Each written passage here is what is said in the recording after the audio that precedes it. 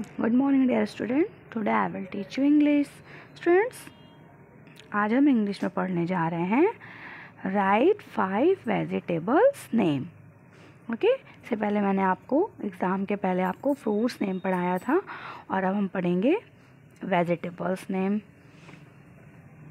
ये आपने oral learn किया था बट आपने जो है रिटर्न नहीं किया है. तो हम फाइव वेजिटेबल्स नेम राइट भी करेंगे, और लर्न भी करेंगे।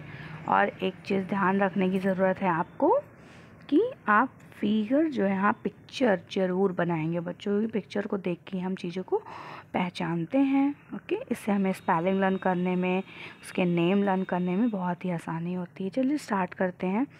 पहला वेजिटेबल है हमारा पोटैटो।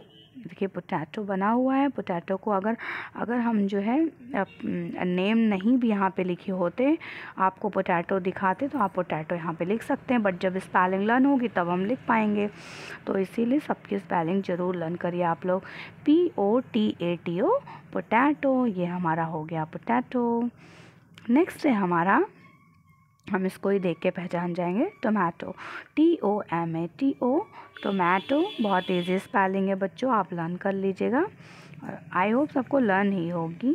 थर्ड है हमारा onion O N I O N onion four है हमारा brinjal B R I N J A L brinjal ये ब्रिंजल का बना हुआ है, सभी बच्चे बनाएँगे कलर भी करेंगे, क्योंकि ये आपकी एक तरह की एक्टिविटी है ओके